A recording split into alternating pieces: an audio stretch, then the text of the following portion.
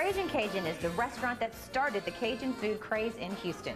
Everything here is created fresh. Today we started with the crawfish etouffee, served with homemade cornbread and fried hush puppies.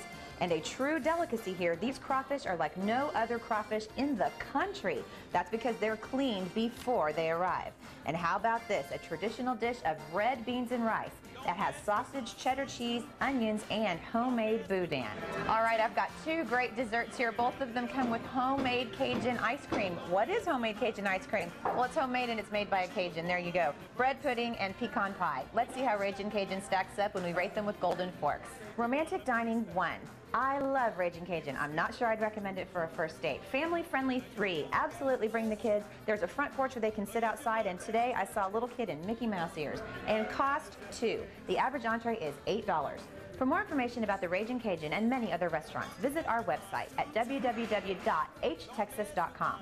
For Fox 26, this is Laurette Veres, editor-in-chief of H Texas Magazine. Join me next week for another Fab Food Find.